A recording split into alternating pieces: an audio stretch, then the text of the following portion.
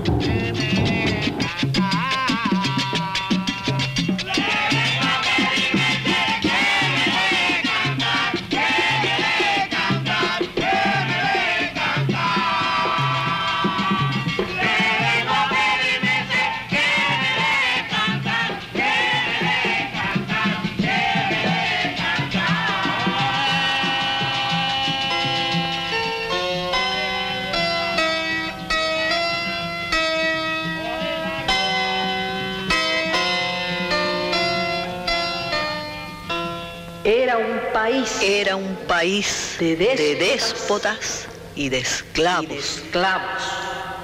donde además la ignorancia era enorme.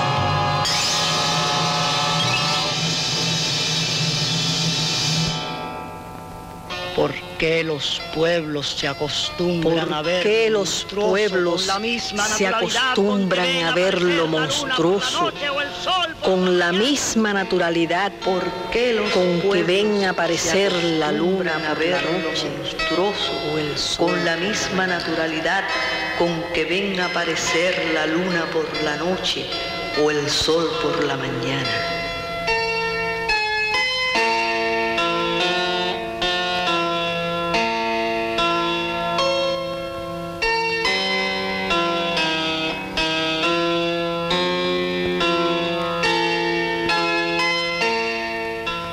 Látigo lo mismo que el sol se levantaba allí todos los días.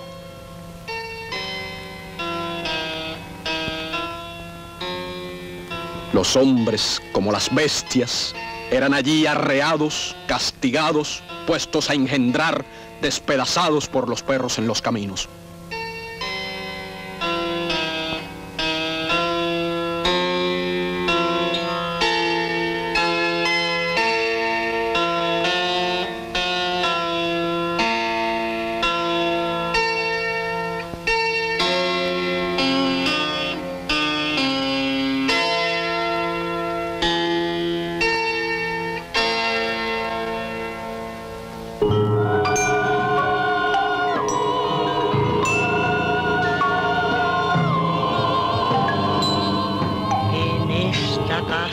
Esta casa, un día un día, de la mitad de del la mitad siglo del nació José José nació Martí. José Martí, autor del ataque al cuartel Moncada. Vengo de todas partes. Hacia todas partes voy. Las revoluciones no triunfan si aguardan a que la naturaleza humana cambie. Si esperamos por las condiciones ideales, nunca comenzaremos a luchar. La isla hierve. La isla se está poniendo en pie. La isla parece necesitar una guerra. En el país se gestó la, nación. se gestó la nación. La nación, la nación, nació, la nación del país. nació del país. La nación nació de la guerra, de la guerra, de la guerra, de la guerra, de la guerra.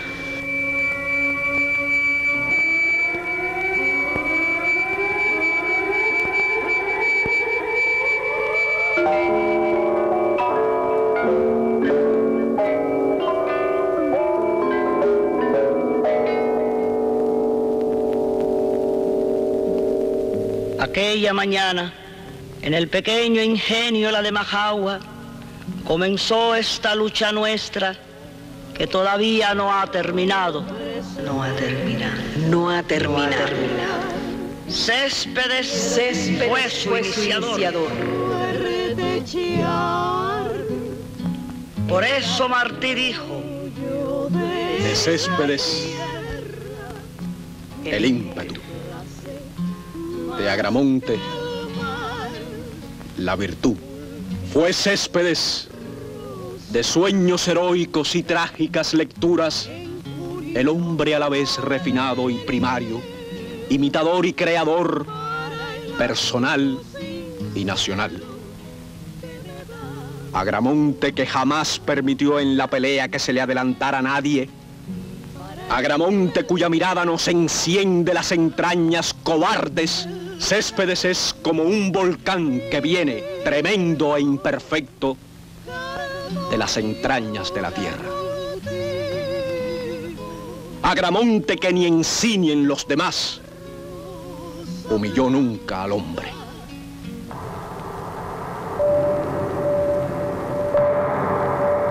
guerra que se inició por un pueblo desarmado.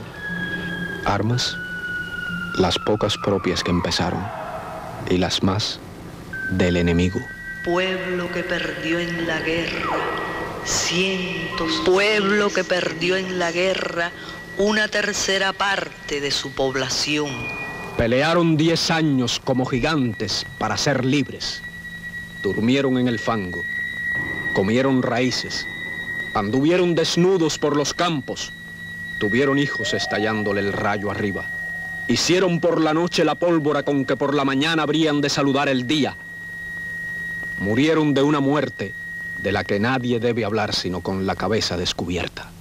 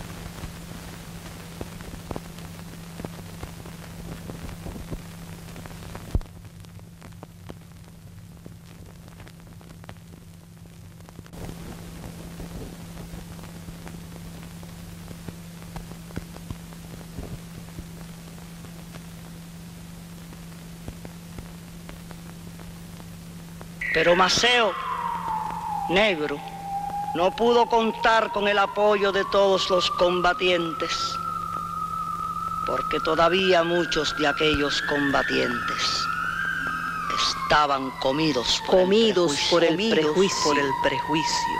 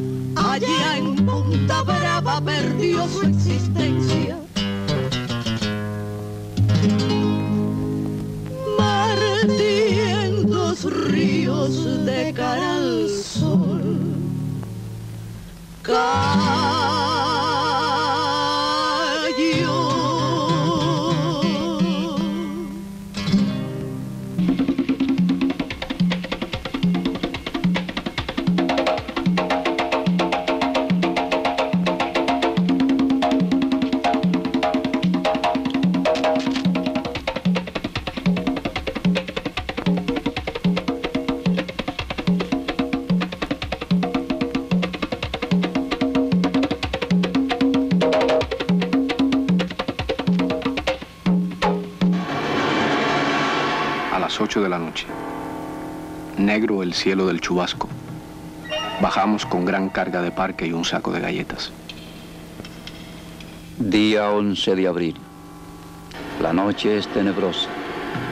El mar se siente agitado. La oscuridad es tal que el mar parece un negro manto funerario donde nos debemos envolver para siempre. Llueve grueso al arrancar. Rumbamos mal.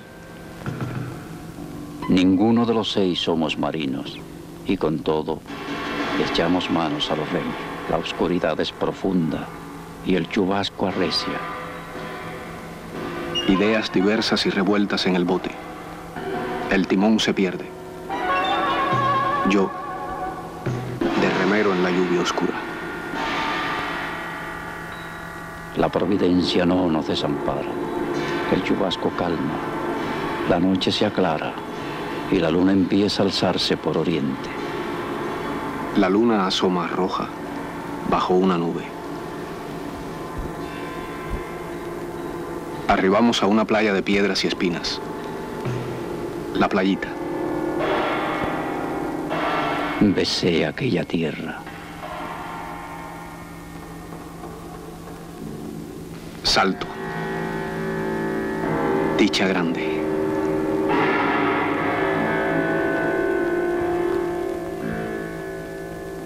Nos echamos las cargas arriba y cubiertos de ellas, empapados, en sigilo. Subimos los espinares y pasamos las ciénagas.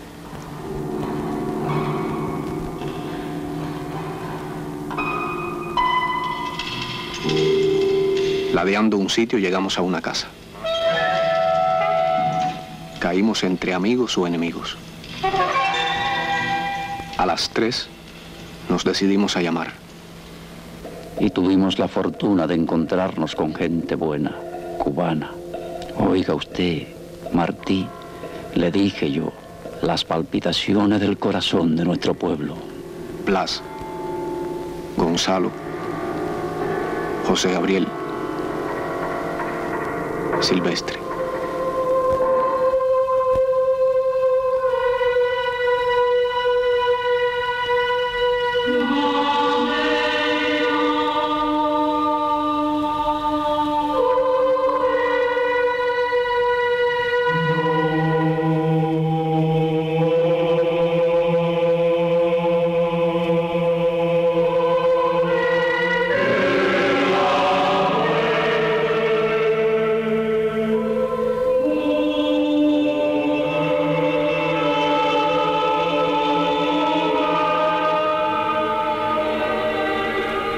Tenía 12 años, Martí llegó a mi casa cuando desembarcó en la playita.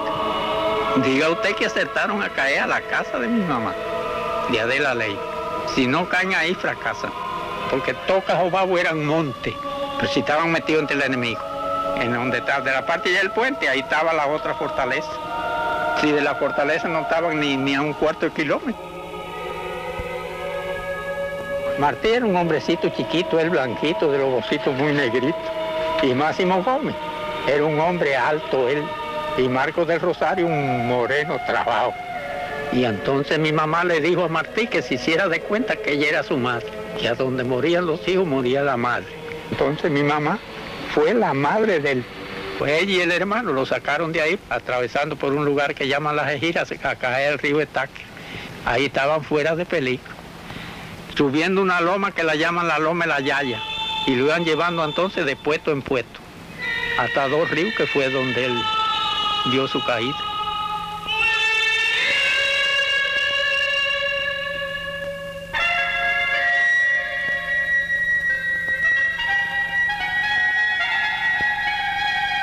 Día 14 de abril. Subir lomas, hermana hombres. La marcha a pie por la tierra ignorada y la noche, a encararse triunfantes contra España. Martí, al que suponíamos más débil por lo poco acostumbrado a estas rudezas, sigue fuerte y sin miedo. Voy bien cargado, mi María. A un hombro una cartera de 100 cápsulas. Al otro en un gran tubo los mapas de Cuba. Y al pecho tu retrato. ¿Cómo olvidaré el rostro de Gómez, sudoroso y valiente y enternecido? Pude contemplar lo radiante de orgullo y complacencia de su fisonomía. Más joven va que el más joven. Por andar metido en esta prueba dura con viejos guerreros que sabían quebrar las sierras. Nos caemos riendo. Y dominar la sed y el cansancio. Se descalza Marcos y sube. Del primer machetazo de huella la jutía. César joven puro me cose el tali. Guerra hace su rancho. Paquito de guardia. Escribo con todo el sol sobre el papel. Ah, María, si me vieras por esos caminos, contento y pensando en ti, queriendo coger para ti sin correo con que mandártelas, estas flores de estrella, moradas y blancas que crecen aquí en el monte. De pronto, hombres Hermanos, ah, hermanos, los ojos echaban luz y el corazón se le salía. 15 de abril. Nos permite a los tres solos. Me quedé mohino creyendo que iban a concertar algún peligro en que me dejarían atrás. A poco sube, llamándome, Ángel Guerra con el rostro feliz. Gómez me dice, bello y enternecido, que él, como general en jefe, había acordado en Consejo de Jefes, a la vez que reconocerme en la guerra como delegado del Partido Revolucionario, nombrarme en atención a mis servicios y a la opinión unánime que lo rodea, mayor general del Ejército Libertador. De un abrazo igualaban mi pobre vida a la de sus diez años.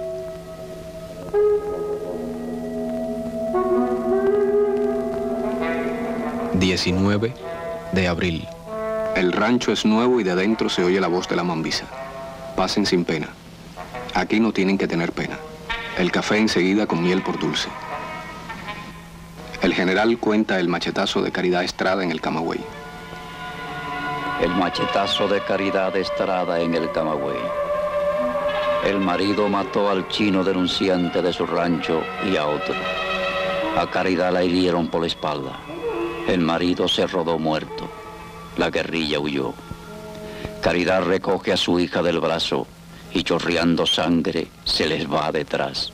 Si hubiese tenido un rifle, si hubiese tenido un rifle,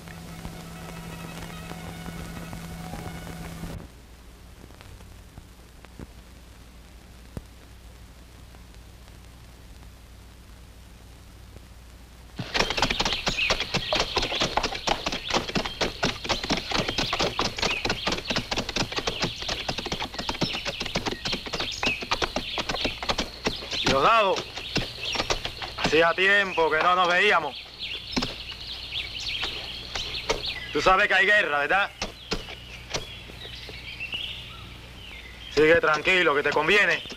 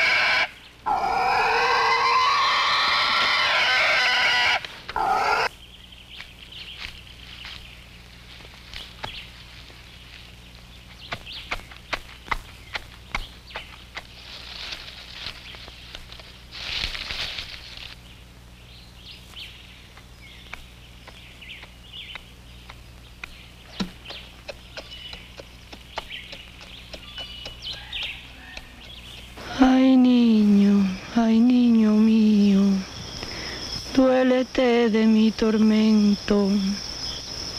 Ay mundo, ¿hasta cuándo más? Ay mundo, di la verdad. Mm, mm,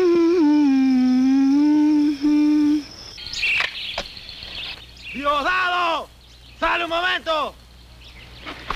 Dándole tus animales a los mambises. Vienen a matar. Lo vienen a matar. ¡Miedo!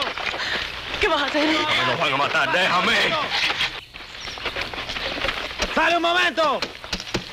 ¡Diosdado! ¡Vas a acabar de salir! ¡Vamos, sal! Mata a la niña. Déjame. ¡No miedo! ¡No va a pasar nada! niña. Déjame, coño. Déjame. ¡Diosdado! ¡No ¡Vas a salgas! salir! ¡No salgas, no! ¡No salgas!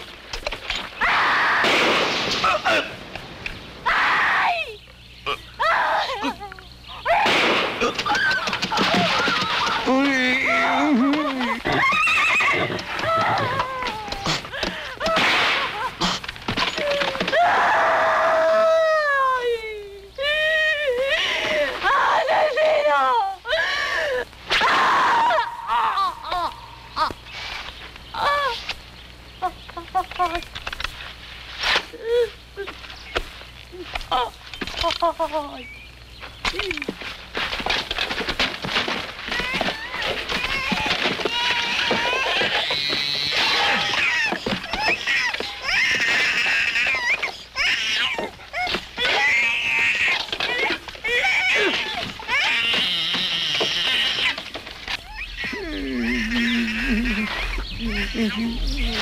Jefe, jefe, jefe.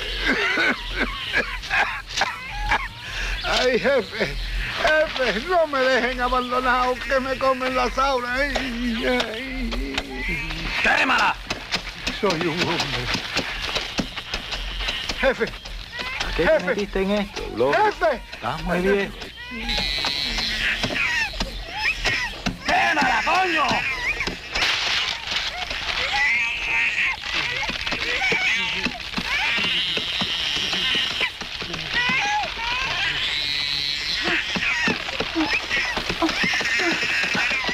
¡Vamos! Jefe, jefe, no se vaya. No me deje, no me deje, no me deje. No me deje.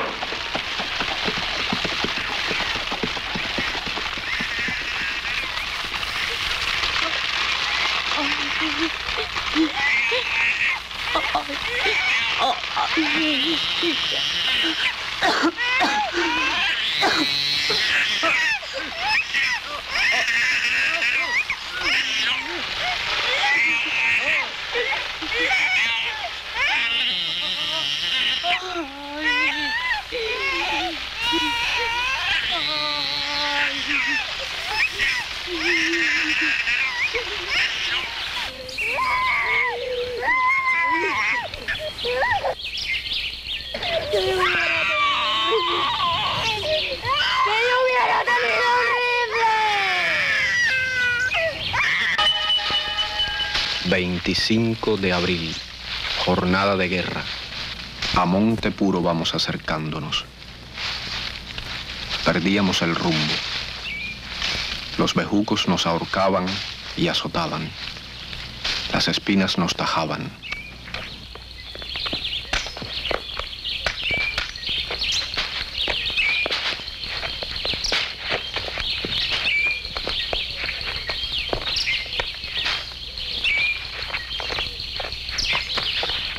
A las once redondo tiroteo. Tiro graneado que retumba contra tiros velados y secos. El tiroteo se espesa.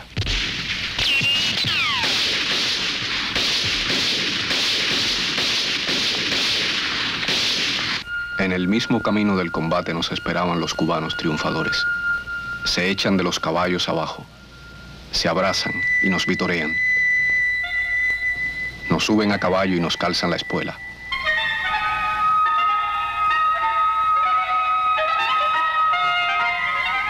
No sentíamos ni en el humor ni en el cuerpo la angustiosa fatiga. Los pedregales a la cintura, los ríos en los muslos, el día sin comer, la noche en el capote por el hielo de la lluvia, los pies rotos.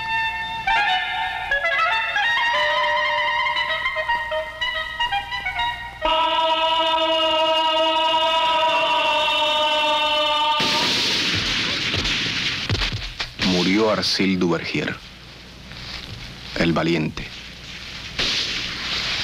Le entró la muerte por la frente.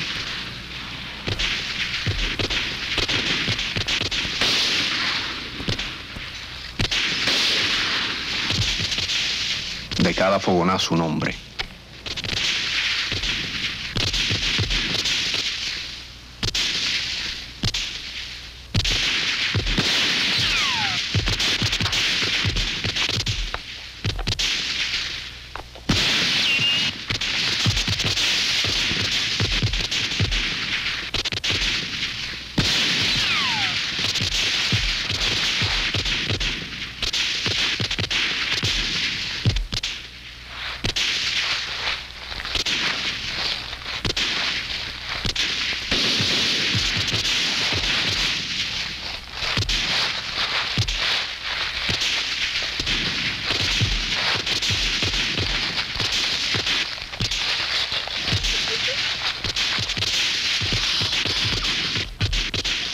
Rodilla en tierra y el balazo bajo les atravesaba las espaldas membrudas.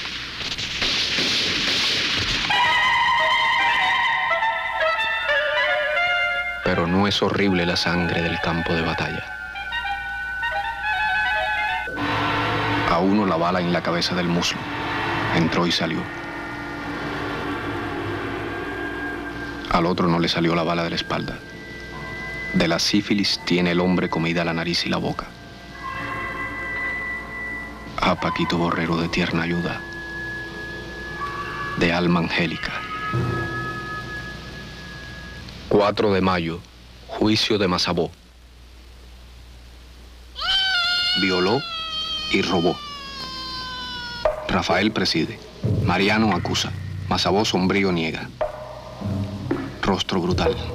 Su defensor invoca nuestra llegada y pide merced. Al fondo del gentío un hombre pela una caña. Gómez Arenga. Este hombre no es nuestro compañero. Es un vil gusano. Mazabó alza con odio los ojos hacia él.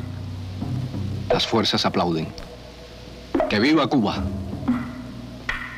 En pie queda Mazabó sin que le caigan los ojos. Ni en la caja del cuerpo se le vea miedo. Los pantalones anchos y ligeros le vuelan sin cesar como a un viento rápido.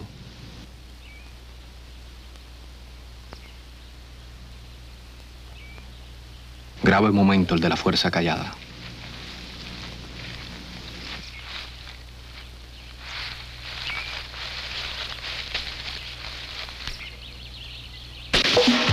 Masabó ha muerto valiente. ¿Cómo me pongo, coronel? ¿De frente o de espalda? de frente.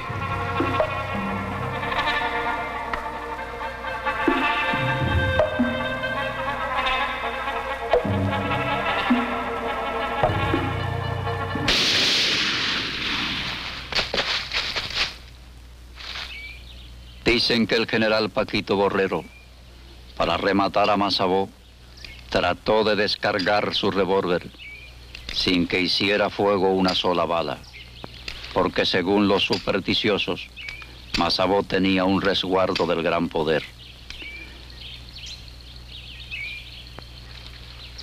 Entonces el general Borrero tuvo que hacer uso de su rifle para ultimarlo.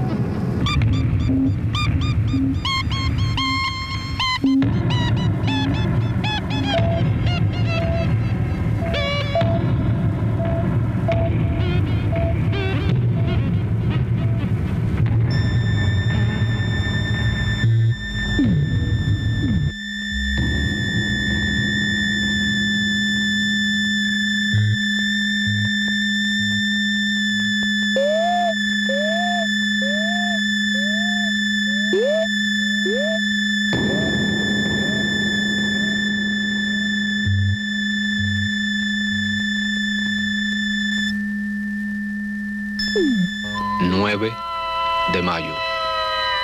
Acauto, dice Gómez. ¿Cuánto tiempo hacía que no te veía?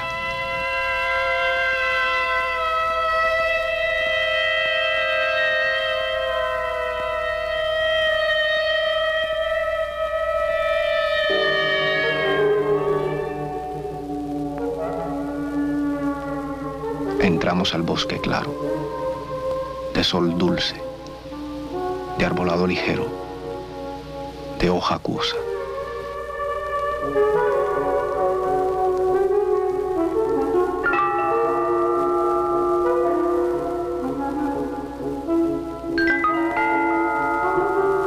Arriba el curujeyal da al cielo azul o a la palma nueva.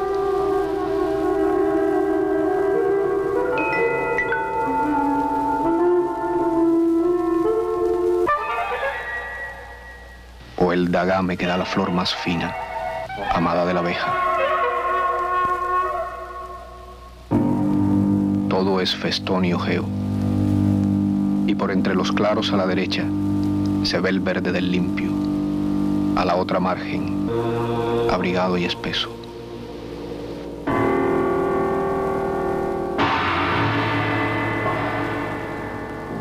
Veo allí el ateje, de copa alta y menuda, parásitas y curujeyes.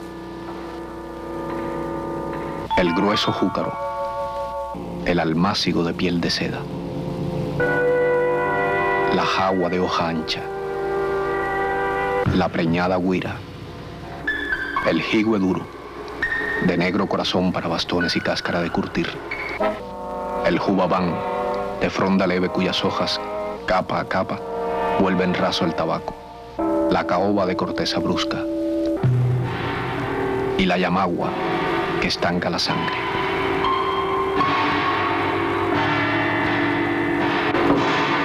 En el camino un hijo de Eusebio Venero se vuelve a anunciarnos alta gracia.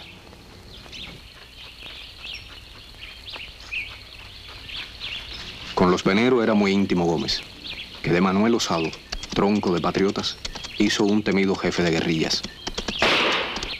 Por su hermosa hija Panchita sentía viva amistad, que la opinión llamaba amores.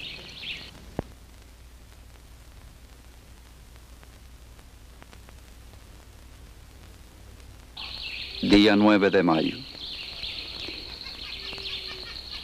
Cuántos recuerdos se avivaron en mi mente la noche de ese día. Sobre todo el de Panchita, la hija más querida de esta familia.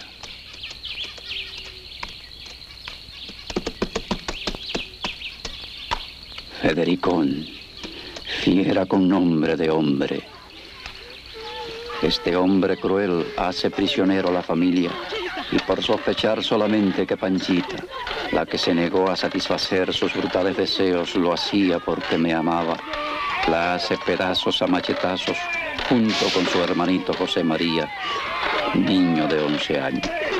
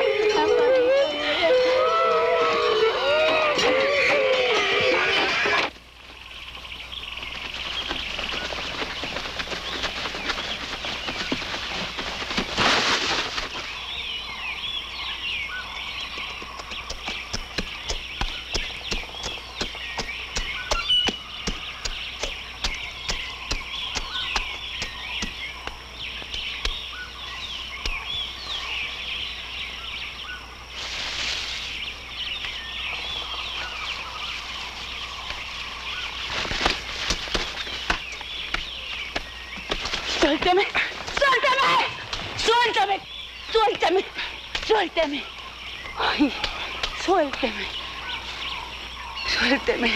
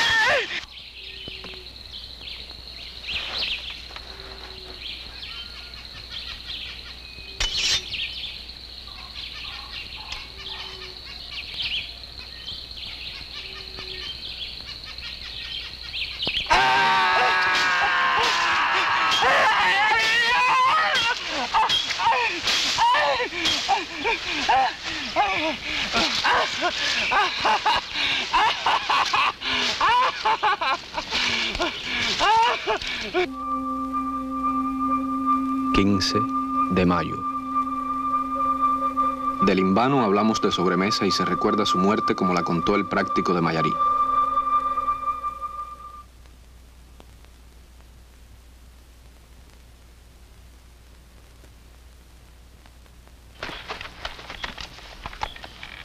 ¡Preparen! ¡Armas!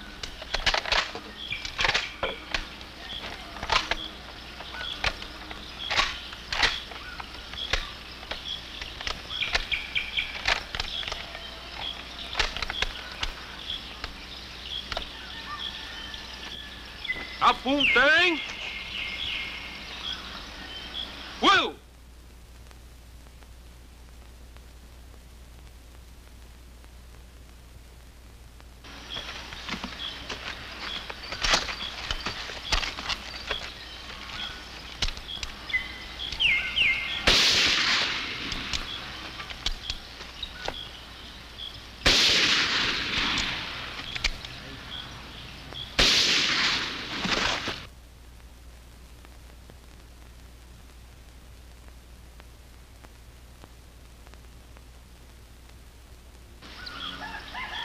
Limbano iba con Mongo, ya deshecho, y llegó a casa de Gabriel Reyes, de mala mujer.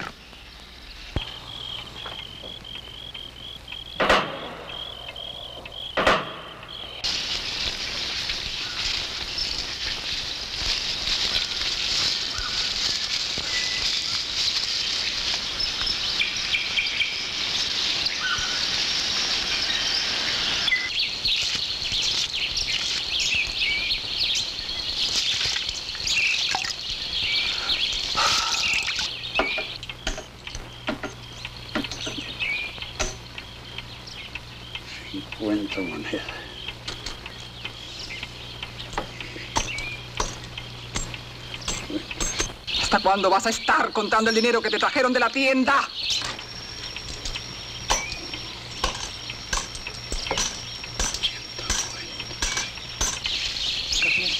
Gabriel, Gabriel, por ahí vienen dos hombres. Están armados. Uno parece que está herido.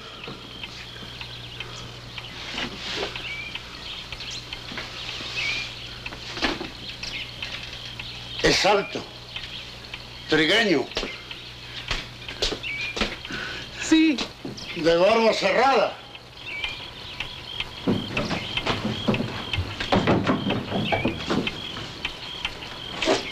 Vete. Abre, mujer.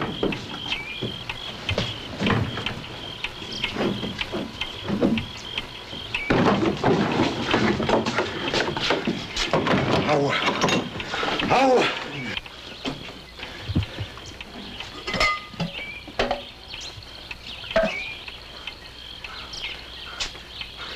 Denme agua.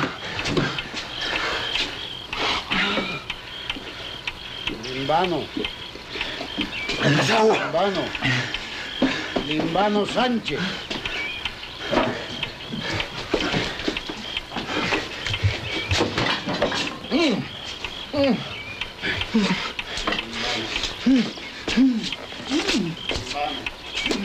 Yo sabía que vendría. Yo creía que no llegaba viejo. Yo sabía que vendría. Me han dado duro. Está grave. Tiene fiebre. ¡Mujer! ¡Mujer! Cúralo. Ayúdalo. Ella sabe. Ella sabrá curarlo.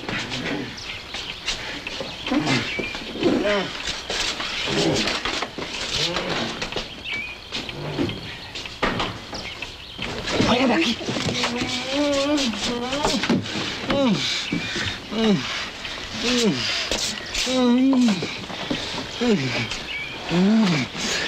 Tenemos general. No confío en esta gente, general.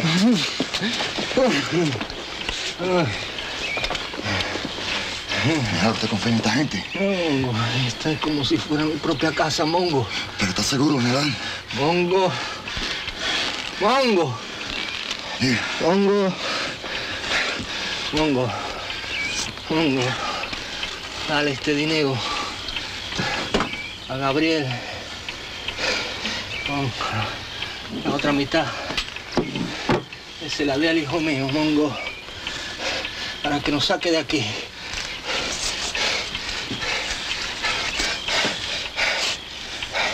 Mongo. Vete tú para Santiago, Mongo. Busca allí la logia Hijo de Cuba y espera las órdenes mías.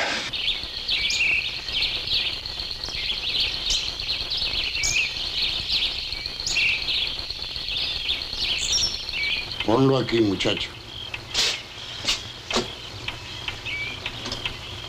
Yo me ocuparé de arreglarlo todo.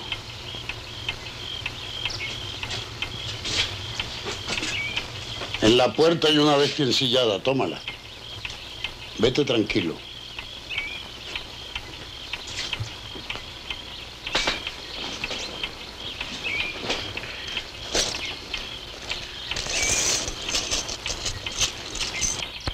Mío, cambia su sangre, cúralo su sed antes que nada, primero que nada.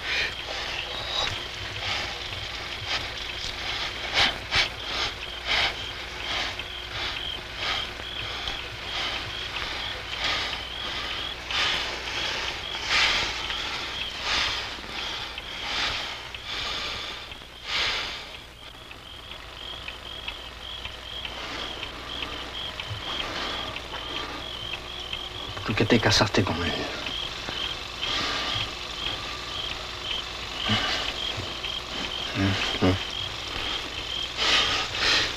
Gabriel es mi padre.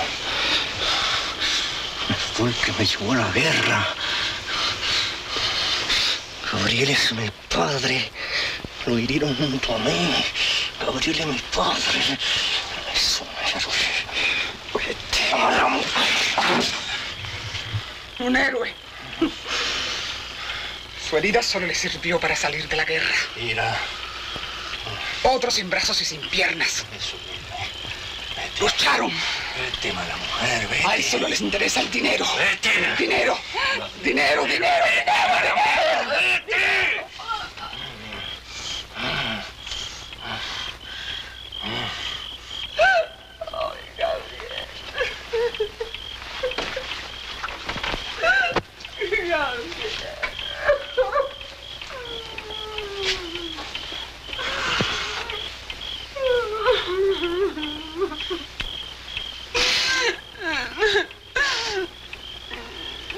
Tú sabes lo que tienes que hacer.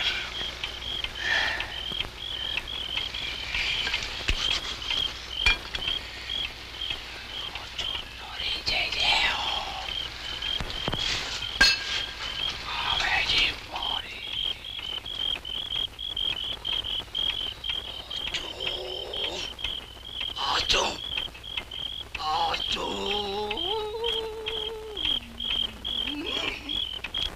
Tome esto para que se cure y se pueda ir.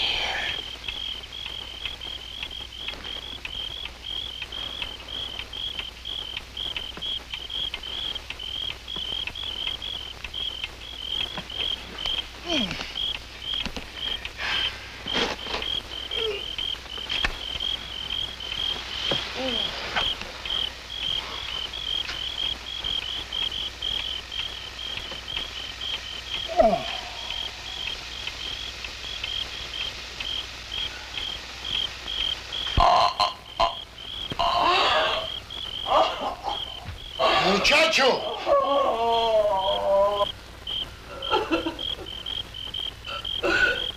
Ve a buscar a la Guardia Civil. Date prisa.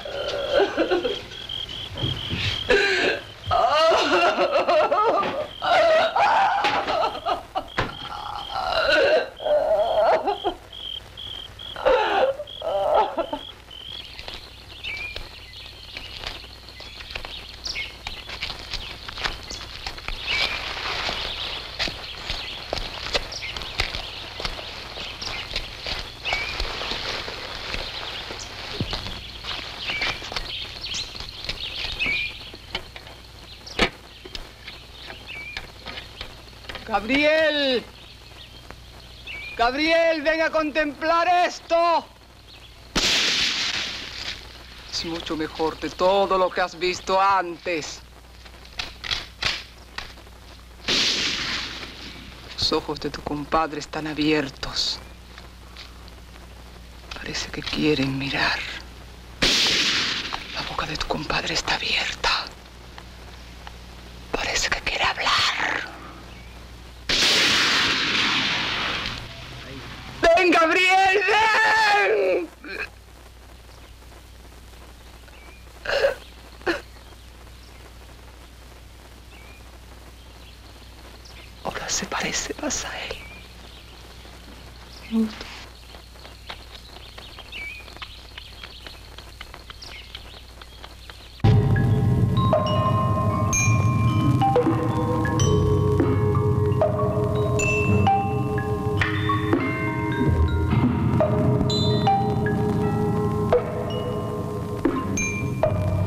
Campamento de Dos Ríos, 18 de mayo de 1895. Señor Manuel Mercado. Ya estoy todos los días en peligro de dar mi vida por mi país y por mi deber, puesto que lo entiendo y tengo ánimos con que realizarlo. De impedir a tiempo con la independencia de Cuba que se extiendan por las Antillas los Estados Unidos. Y caigan con esa fuerza más sobre nuestras tierras de América. Cuanto hice hasta hoy y haré es para eso impedir que en Cuba se abra por la anexión de los imperialistas. Por la anexión de los imperialistas de allá y los españoles, el camino que se ha de cegar y con nuestra sangre estamos cegando de la anexión. La anexión de los pueblos de nuestra América, al norte revuelto y brutal que los desprecia. Viví en el monstruo y le conozco las entrañas. Y mi onda es la de David. Y mi onda es la de David. Y mi onda es la de David. Y mi onda es la de David. Y mi onda es la de David.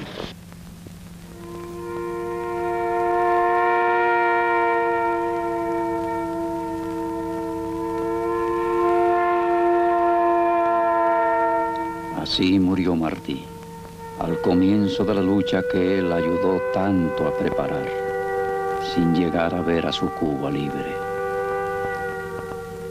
Ya nos falta el mejor de los compañeros y el alma del levantamiento. ¡Qué guerra esta! Pensaba yo por la noche, que al lado de un instante de ligero placer aparece otro de amarguísimo dolor. En mi vida no he odiado más que una cosa, la guerra. Duerme en paz, amigo querido, que bajo el cielo de tu patria no hay tumba más gloriosa que la tuya.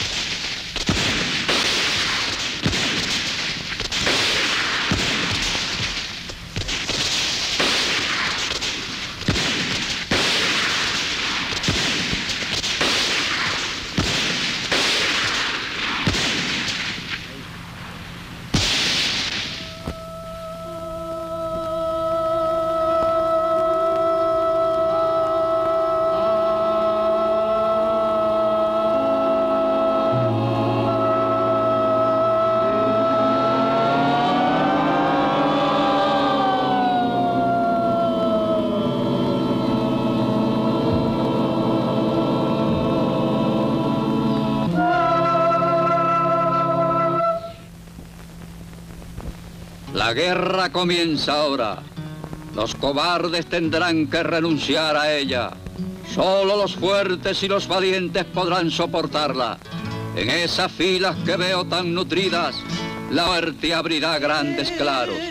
No se esperan recompensas, sino sufrimientos y trabajo. El enemigo es fuerte y tenaz. El triunfo solo podrá obtenerse con el derramamiento de mucha sangre. Soldados, no os espante la destrucción del país. No os espante la muerte en el campo de batalla. Espantaos, sí, si por nuestra debilidad España llegara a vencer en esta guerra.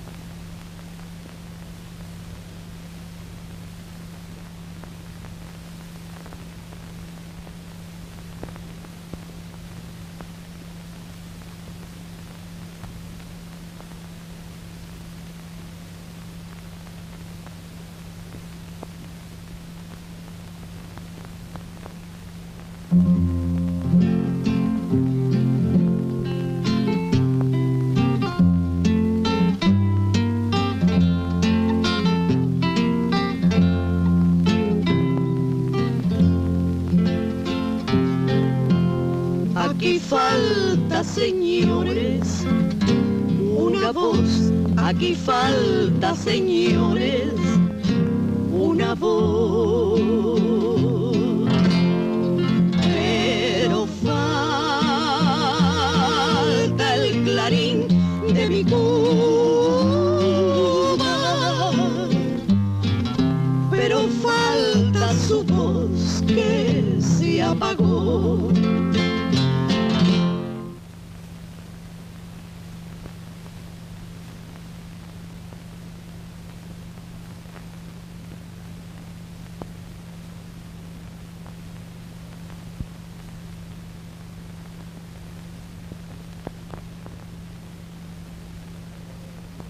No puede haber en Cuba verdadera paz moral.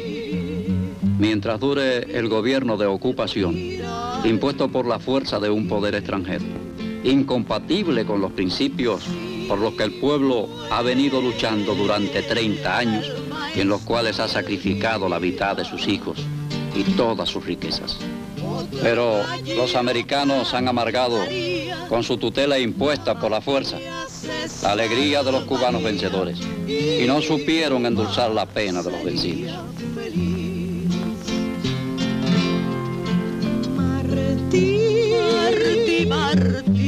Debió de morir, de morir.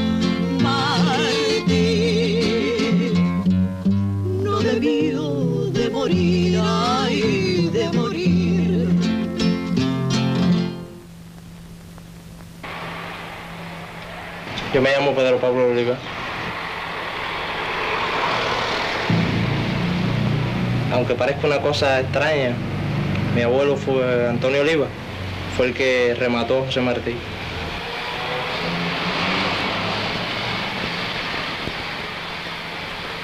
Yo soy alumno de la Escuela Nacional de Arte, quinto año. Yo pertenezco a la Brigada José Antonio Echevarría. Es una brigada de jóvenes vanguardias.